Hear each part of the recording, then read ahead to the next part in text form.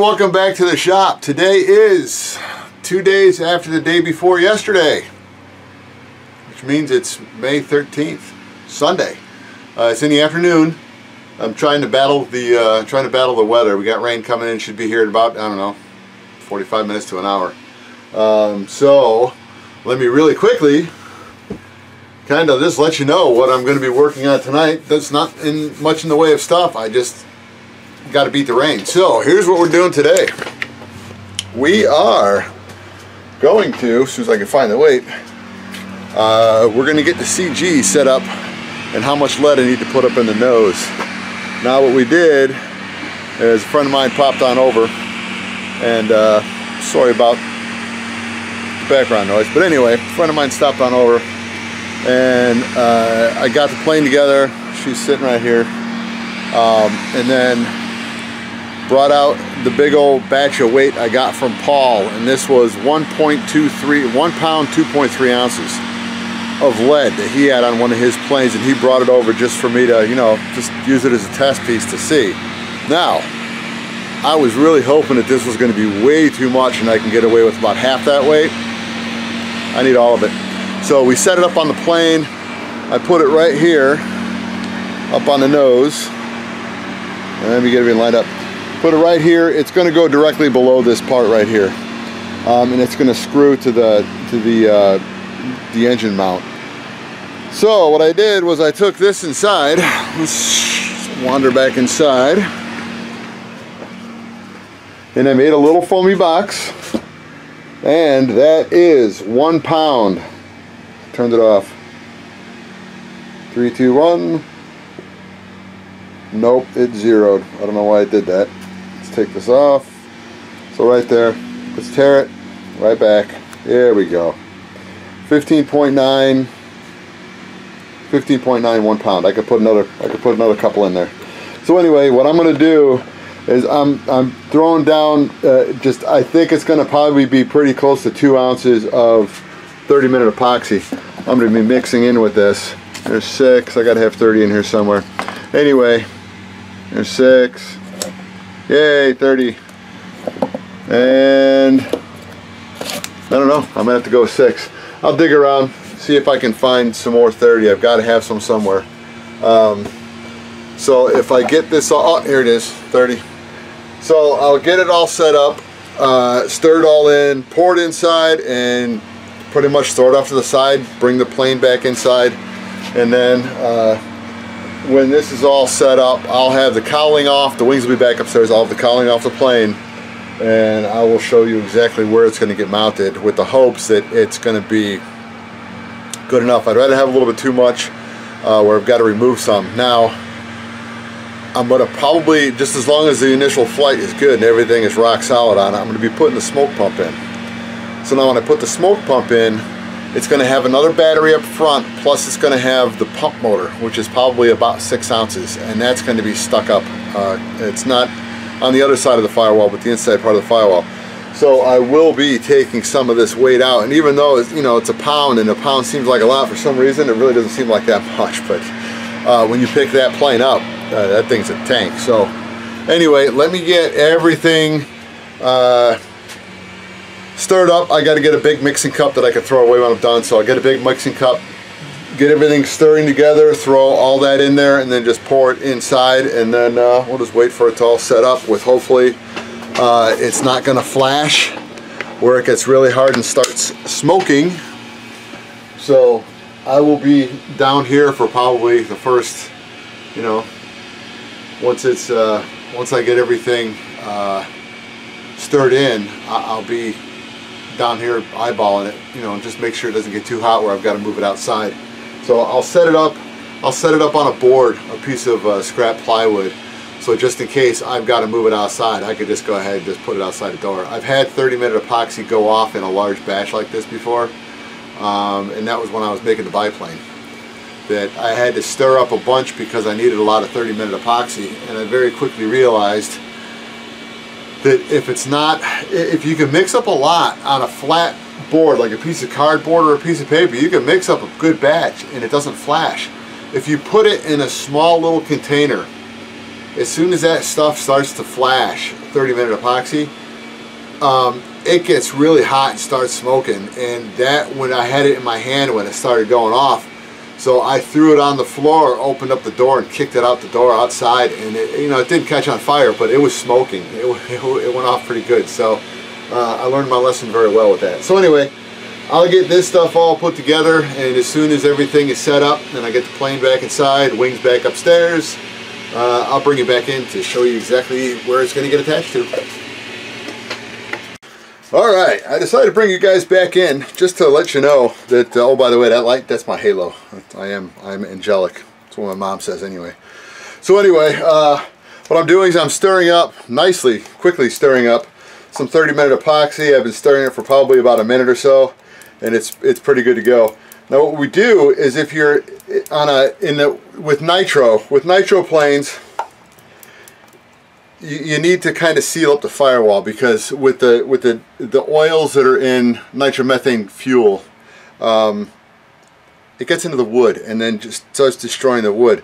You don't have as big a problem with gasoline planes, um, but the firewall on that plane outside has been, I've already taken care of it. Now what I'm going to do with this is what I do with those planes whenever I do a firewall is I take some 91% isopropyl alcohol and put a little bit in here to thin it out. And what it does is it makes it easier to paint it, but it also makes it easier for me to mix all the lead pellets with it so that it encapsulates everything so when I pour it in, it's going to flow out nicely and be one solid block. Now how much, how much do I put in? I, I wish I had a good ratio. Normally I put in more than I need because that's the way I do things. Uh, I just I want to have it so that it's it's very liquid and very easily paintable. So it's uh, I'm almost done stirring it up. I want to show you just how just how liquid it is.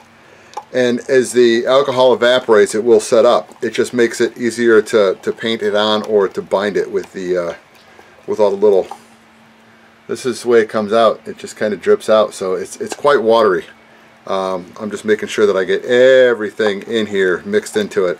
And this will also not let it set off early um, because it's thin and with the alcohol in there until it evaporates it doesn't uh, it doesn't bond too well. It's this it does take a lot longer for it to bond but it'll work out better in the end. So alright let's get you a little bit closer here. And here is all the lead, and I'm just going to go ahead and pour it in and start stirring.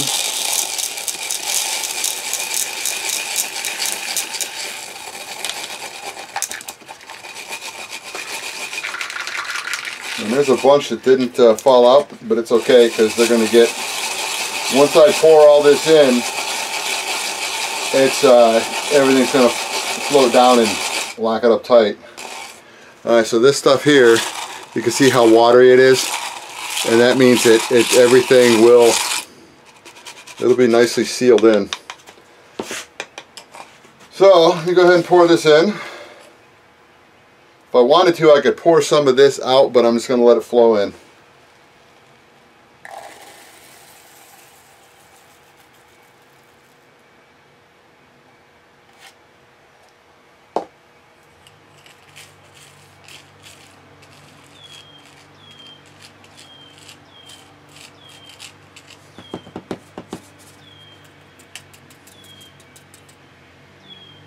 Alright, it's all in. Let me clean this up.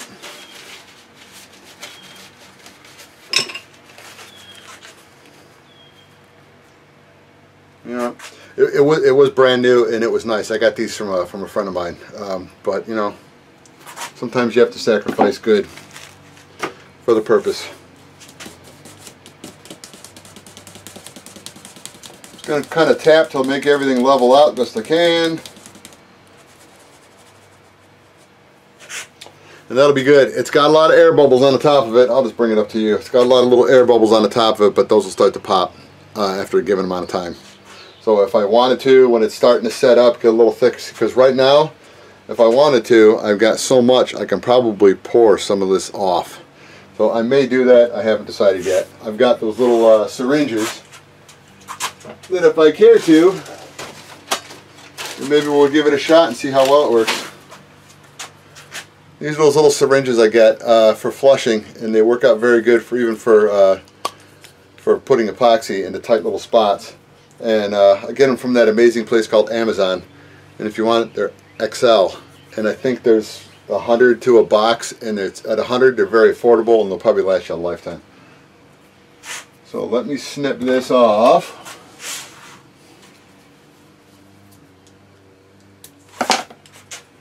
Pull some of this out.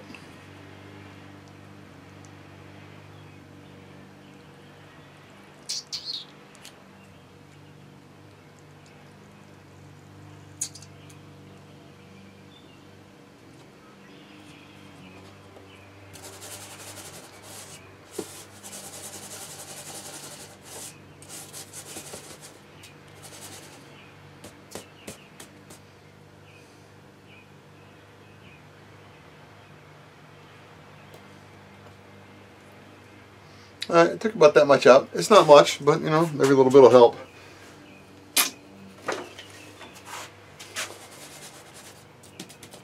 I'll tap this off now. What I want to do is I want to show you guys kind of where this is sitting weight-wise. Because it was uh, pretty much about, it was about one pound. So let's see what it's going to register on the scale. Because we went from it was 1.23 and we're 1.1 so it wasn't as much. So it ended up only being a tenth of an ounce for uh, for all the the epoxy but you know I think that's going to be fine to get me to where I want to go because I, I need two screws to hold this down so that'll be my uh, that'll be my point three. So anyway I'm gonna get this stuff all taken care of once again off camera and then uh, uh, later on when I get the plane back in um, if it doesn't start pouring it starts pouring out I won't see you guys until probably Thursday. Um, but I'll, uh, I'll bring it back in just to show you how this is going to get mounted and uh, with the hopes that we'll be one step closer. Alright everyone welcome back to the pit. It's the 16th of, of May. Yeah 16th wow holy crap Alright, today, what I'm to do, because it's about 6 o'clock in the afternoon, early evening, we're to take all this off. We're to try to put the one pound, one ounce chunk of lead up on the top of the, uh, the motor mount. So let me get this all torn down, and then I'll bring it right back in, and uh, let's see what I got to do. Alright, you can see the sun's getting low on the horizon. I'm starting to squint a little bit more now. Looking more like Clint Eastwood. Okay, here's what I had to do. I had to shorten this. It was going to be too high because I didn't take this off when I made it. I thought I had a little bit more room and it was just sitting just slightly proud of this. So I had to, I had to shave the stuff off the bottom. Almost all of what I took off the bottom was just epoxy. It's, I don't know if you're to be able to see it. I'm kind of hoping you can. There's just a little bit of, uh, of pellets up the top. So anyway, so that came off. That gave me the room I needed. And so I'm just shy of a pound. So I took pretty much what I had to take off there and grind this little section out to kind of sit farther back. Uh, I had to take about, it was about a tenth of an ounce. Um, so I'm not too concerned about that because what I'm going to be doing with this, because it's sitting over this, I'm going to wooden box the outside edge of this thing. Um, just to add, so I'll epoxy it on all the way around. So I'm adding more strength to the whole piece so that nothing could break off of that. And that little bit of weight with the wood will hopefully bring me back up to where I need to be. Um, so I'll use some good, good it actually looks like light ply. I'll use some good eighth inch uh, marine grade plywood. So I'm gonna I'm gonna bring the wings down. I'll get it all set up, and I'll show you. I'll set this off to the side, and let's take a good look at uh, if that's enough weight up front to balance it, or if it needs a little bit more. Uh, so hopefully, you know, that'll be enough. I don't have the plywood up front, but what I could do is I can estimate about the size of the plywood and just go ahead and just, you know, tape it to the front of this or whatever. So I'll get this set up, bring the wings down, uh, attach the wings, put the put the, the cowling back on it again, and then uh, bring you guys back in and let's lift it up, see what it looks like. All right, it is all back together again. Let's go ahead and give it a lift and, you know, as per usual, hope for the best. I put the doors back on again, uh, just to put them on, just so that, because they're a little bit uh, heavy on the tail side, as opposed to being heavy up on the front side. So, let us see what happens.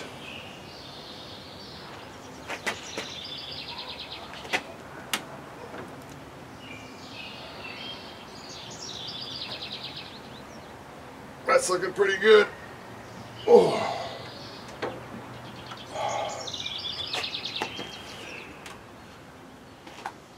All right. Hopefully that looks pretty good to you. I'm not looking, let me see if I can get the light better. There we go. I can't see a side view. I'm, I'm just from point of perspective, from where I'm standing, it looked like it was pretty level. Um, I'd rather have a little bit nose heavy, but that's with everything up front, so I'll go ahead, I'll get that finalized, get the little side pieces because the, the, pieces of uh, um, plywood were taped to the, to, to the weight. So I'll get that wrapped around the outside and then when I stick it down, I'm going to put the screw in there, but before I put it down, I may use either clear RTV or some contact cement. Um, I got to see if I got clear RTV. If not, I can just use contact cement. But either way, um, my goal is to have it so that not only will it be screwed down, but it's going to be it's going to be stuck in a way where it, it, it shouldn't want to come off. Even if even if I pull the screw out, it shouldn't want to come off.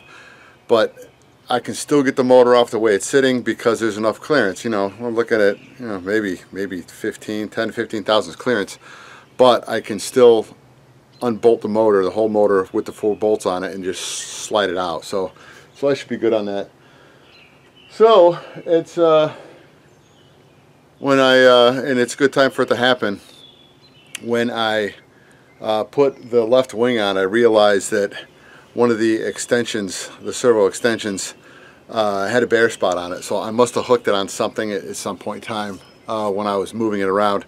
So I will be opening up the, uh, taking this the wing servo out and uh, just put a new extension in. Uh, the extensions are cheap, so I'd, I'd, rather you know, you know, throw away a, a you know a 95 cent extension uh, and and not lose an airplane. So anyway, all right, so this is pretty much ready to go. The way the plane sits right now, it is ready to fly. It's all balanced out, ready to fly. Um, I'm gonna I'm gonna wait uh, probably it's probably not going to be done this weekend.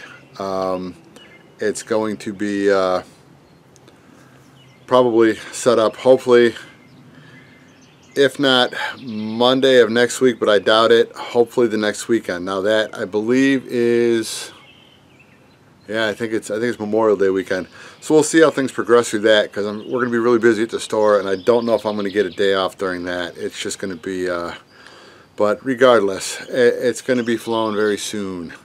Uh, my whole goal Friday is to just go up with the uh, Piper and just go have some fun. So, um, yeah, that's about it. So she's uh, she is she is ready to go, and here she is with the with the doors on and the wing attached. It, it hasn't been fully assembled, put together like this, ready to go. This thing here, I am still really fudging around what I want to do with this.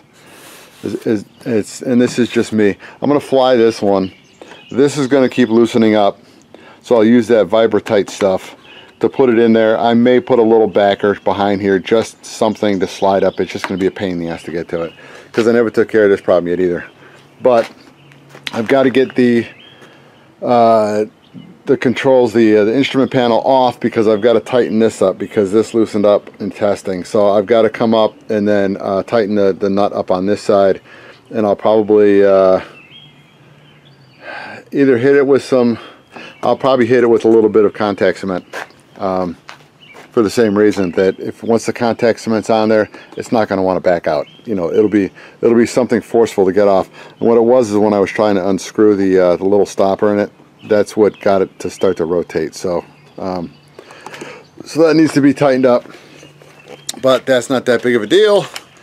And the way things are going, I still have time. So let's see. Um, I'll don't know if I'll get that done because tomorrow's Thursday. I don't know if I'll get that done tomorrow, uh, but if I do work on it, I'll, I'll, bring it back in because I want to put together at least a short video for you guys. Um, for uh, you know video 89 just just to show you the little finale of, of doing it so anyway um, if I come back down and do a little bit of work tomorrow on it because I got to get the Piper Cub ready to go uh, for Friday if I have Friday off um, that's under contestation right now because I was told I might be working and I said no but anyway um,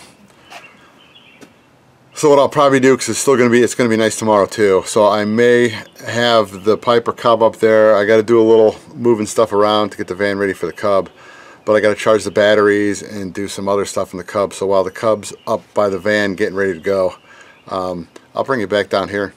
We'll uh, we'll do a little bit more work and then uh, you know pretty much call it done. So the other thing I could do is if I wanted to, and I still may do it uh, because then I can I'll end up taking weight out of the nose. But you can see how little flex there is. There's just a little bit of flex in this and, and I don't really know how much I'm going to need. I'd like to think maybe about taking one of these out whether it's the little one it'll probably be this one and leave the leave the shorty up on the top that'll that'll be that'll allow me to take weight out of the front too.